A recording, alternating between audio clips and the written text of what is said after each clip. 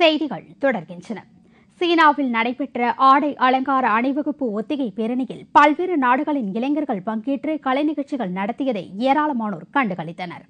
சீனாவில் ஆண்டுதோறும் ஆகஸ்ட் மாதம் சர்வதேச கோடைக்கால ஆடை அலங்கார அணிவகுப்பு நடைபெற்று வருகிறது. அந்த வரிசையில் இந்த ஆண்டு நடைபெறும் இருபத்தி ஆறாவது ஆடை அலங்கார அணிவகுப்பு இன்று தொடங்கி வருகிற பன்னிரெண்டாம் தேதி வரை செஷன்ஸ் நகரில் நடைபெறவுள்ளது. இதற்கான அணிவகுப்பு ஒத்திகை நிகழ்ச்சி நேற்று நடைபெற்றது.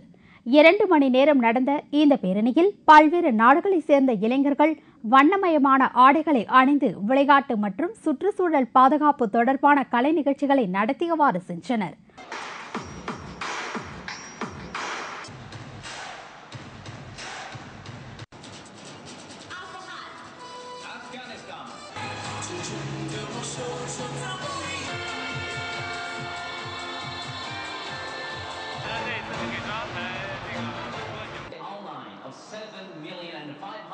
அணிவகுப்பு ஒத்திகை தொடங்கியதை முன்னிட்டு செஷன்சான் நகரில் the gate of the the world எனப்படும் இருபத்தி ஆறு மீட்டர் உயரமுடைய திரை போன்ற நுழைவு வாயில் அமைக்கப்பட்டிருந்தது. அனைவரின் கவனத்தையும் ஈர்த்தது.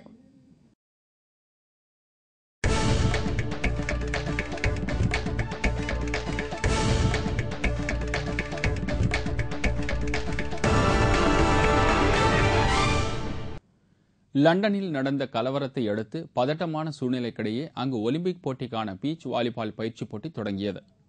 இங்கிலாந்து தலைநகர் லண்டனில் கடந்த சில தினங்களுக்கு முன்பு ஒருவர் சுட்டுக் கொல்லப்பட்ட சம்பவத்தை அடுத்து அங்கு கலவரம் வெடித்தது. அப்போது போலீசாருக்கும் பொதுமக்களுக்கும் இடையே நடந்த மோதலில் பலர் படுகாயமடைந்தனர். இதையடுத்து லண்டன் நகரில் பலத்த பாதுகாப்பு போடப்பட்டுள்ளது. இந்த பதற்றமான சூழ்நிலைக்கிடையே லண்டனில் அடுத்த ஆண்டு நடைபெற இருக்கும் ஒலிம்பிக் போட்டிக்கான பயிற்சி போட்டிகள் நேற்று தொடங்கியது. முதல் போட்டியாக பீச் வாலிபால் போட்டி நடைபெற்றது.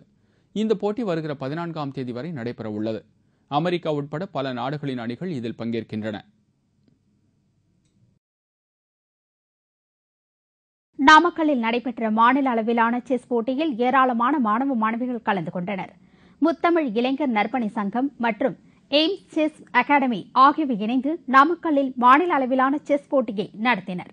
இரண்டு நாட்கள் நடைபெற்ற இந்த போட்டியை நாமக்கல் மாவட்ட காவல்துறை கண்காணிப்பாளர் வேலன் தொடங்கி வைத்தார்.